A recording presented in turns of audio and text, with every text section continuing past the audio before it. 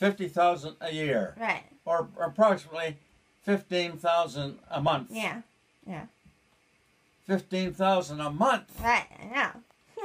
So so he's- she's getting a good deal. So uh, yeah, so he's just getting three thousand. yeah. But of course, I think something, uh, and that whole premise has changed in since this uh, last recession. I don't think homeowners are getting ten percent any longer. Hmm. Uh, an apartment dwellers, uh, uh, they just like uh, say uh, the house across the street. Yeah. It, uh, I think, if I remember rightly, it sold for about three hundred fifty thousand. About three hundred and fifty thousand. When? That place, When?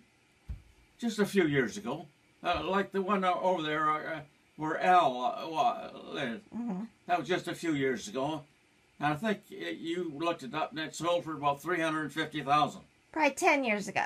Huh? Probably ten years ago. Ten years ago? Yeah, they've had renters in there ever since. No, and that's not ten years ago. No more than